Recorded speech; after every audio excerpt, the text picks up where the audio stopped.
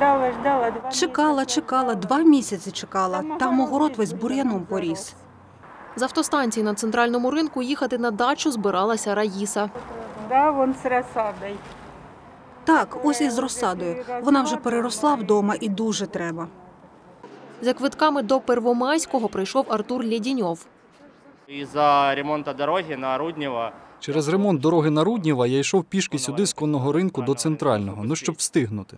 Я просто дивився напередодні на сайті автостанції, що от сьогодні закінчується карантин, і автобуси почнуть ходити. Закінчується карантин і що автобуси почнуть ходити.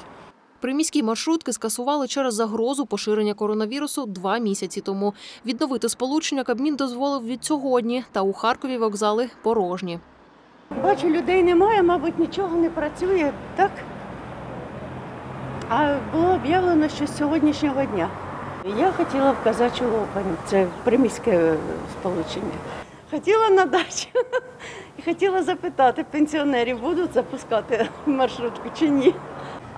Ж сегодня открыть метро. Обіцяли сьогодні відкрити метро, маршрутки, а нічого немає. Так про що тут казати? Козли вони.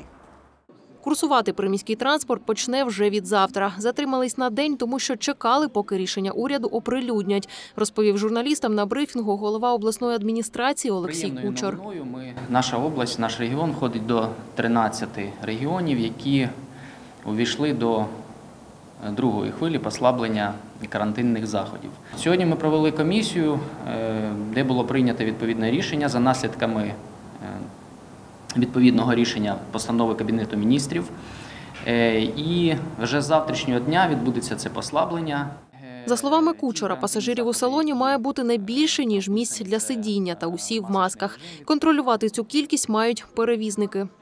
Світлана Стеценко, Антон Калита та Михайло Воронков. Новини на Суспільному. Харків.